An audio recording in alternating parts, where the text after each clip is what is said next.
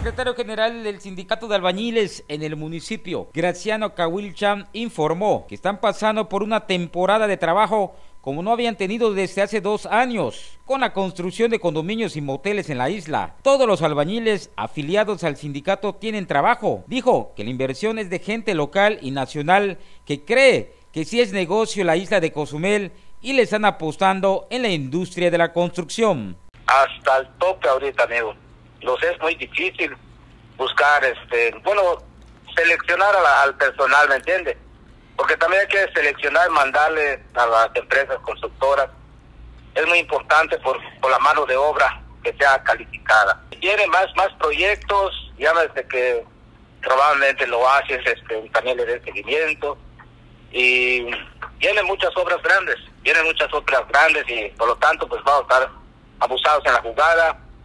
Este, pues ahorita ellos te están sacando, o sea, más bien las, las, constructoras se están sacado de onda ahorita, porque en la última, este, en las últimas, la verdad el gobierno municipal que, que por hoy es este Pedro Joaquín, Joaquín, pues la verdad, este, pues me acuerdo que se bajaron tanto como él y el propio secretario general, Cota, pues tiraron indicaciones a ellos, ¿saben qué? Pues hay que echarle la mano a la gente local, necesitan empleo y por lo tanto quiero que ustedes participen como debe de ser, no trae, no nos traigan este trabajadores foráneos y todo eso está sucediendo.